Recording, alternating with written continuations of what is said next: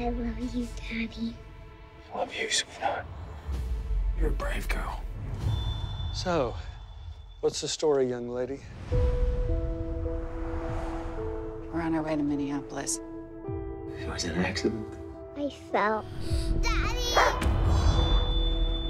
Well, sooner or later, everybody does. Right, Dad? I nearly had you, didn't I?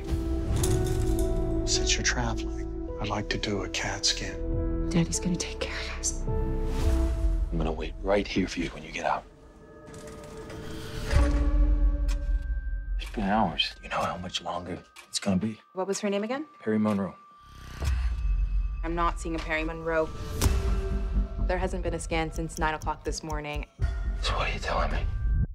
They're not here. Got the whole day in front of me. Not finding any Monroe. I just want to see my wife and daughter. Do you have any footage? Don't record in the treatment areas. Run to the camera. Can't see them because of the chairs. You get a better angle.